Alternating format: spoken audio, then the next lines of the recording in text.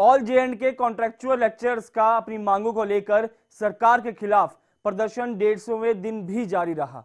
अपनी मांगों को लेकर ये लेक्चरर्स पिछले डेढ़ सौ दिनों से भूख हड़ताल पर हैं। मीडिया से बात करते हुए एसोसिएशन के प्रधान अरुण बख्शी ने कहा कि डेढ़ सौ दिन प्रदर्शन करने के बावजूद भी सरकार उनकी तरफ़ कोई ध्यान नहीं दे रही है और साथ ही उन्होंने कहा कि राज्य सरकार उनसे भेदभाव कर रही है। आपको बता दें कि इन कॉन्ट्रेक्चुअल लेक्चरर्स की मांग है कि जल्द से जल्द इन्हें परमानेंट किया जाए। कि अगर हम फाफ लंग एरियाज़ में पैदल जाकर बच्चों को वहाँ अच्छी शिक्षा दे सकते हैं तो सरकार को ये बताना चाहता हूँ कि हम लोग अपनी कलम से कुछ भी कर सकते हैं। अगर हम लोग ही सरकार को बनाने वाले हैं और हम लोग ही सरकार को गिराने वाले हैं, क्योंकि हम लोग हैं, वो जनता है। और मैं मीडिया के माध्यम से ये बात आज बता बता देना क्लियर कर देना चाहता हूँ कि हम अपनी संघर्ष को तब तक कंटिन्यू रखेंगे जब तक कि हमारी डिमांड पूरी नहीं हो जाती। क्योंकि आपने अपनी जेनुअल डिमांड को यहाँ लेकर बैठे हुए हैं कि हमें civil service special provision act के तहत रेगुलाइज किया जाए।